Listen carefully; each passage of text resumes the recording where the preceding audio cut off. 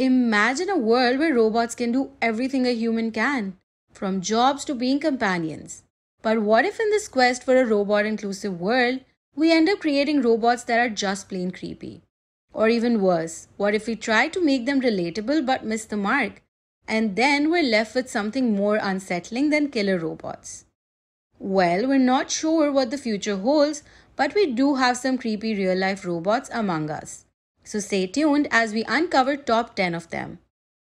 Let's start with Osaka University's female stimulants at number 10. So, believe it or not, a team at Osaka University decided to create robots that look very much like attractive women. They aim to have these robots serve as receptionists and news readers.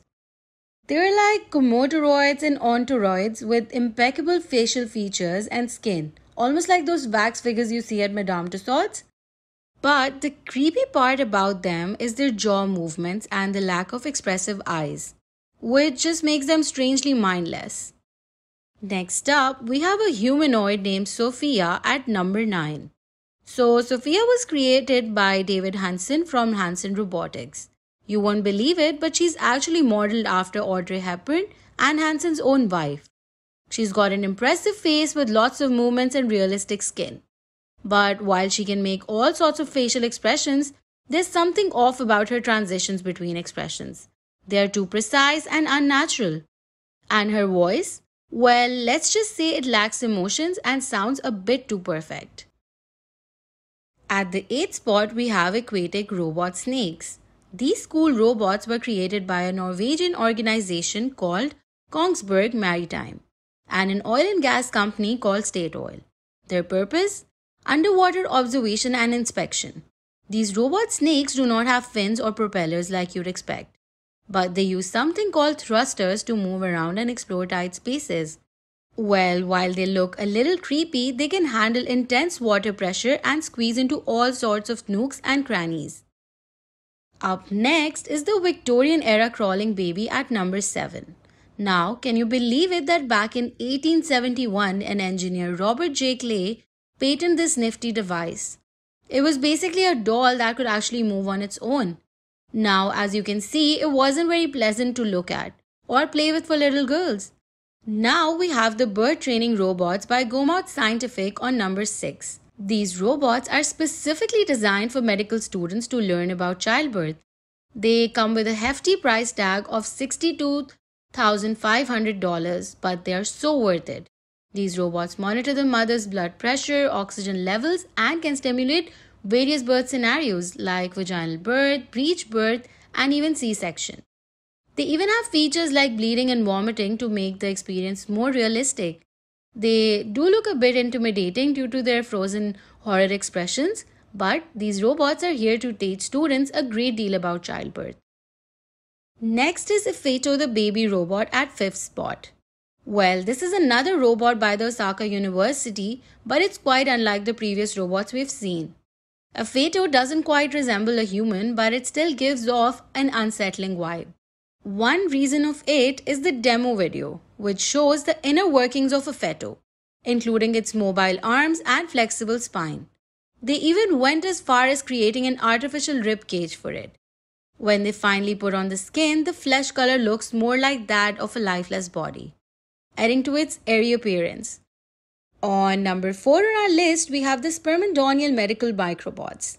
These are basically some super tiny robots that are so small that they can be injected in your bloodstream. They use harmless electromagnetic fields to move their tail like structures, just like bacteria swimming around. These microbots have a special purpose. They can help with things like clearing blood clots or delivering medicine to a specific part of our bodies. So, what is it that makes them creepy? Well, they don't just act like bacteria, but they also have a design that is inspired by bacteria. So basically, they just look like microscopic tadpoles. Up next, at the third spot, we have Cassie, which is mainly a pair of legs designed by a group of students from Oregon State University. It was actually developed with a million dollar grant and is intended for various applications. It can be used for commercial delivery, search and rescue missions, and even in highly radioactive areas to handle nuclear waste. Its backward legs are useful for accessing places that wheeled robots can't reach. But what makes Cassie a bit creepy? Well, its central component resembles the head of the robot from the movie Robocop, so it's not very visually appealing. Plus, the thigh area on its legs just looks somewhat strange, almost like odd growths. Even a news story from CNBC referred to Cassie as creepy.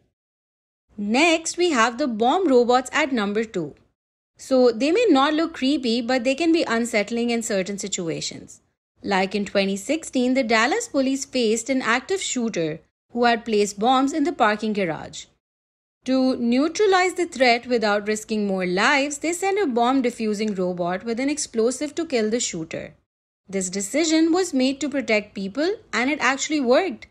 But it did raise some concerns about the potential use of robots to deliver bombs in the future.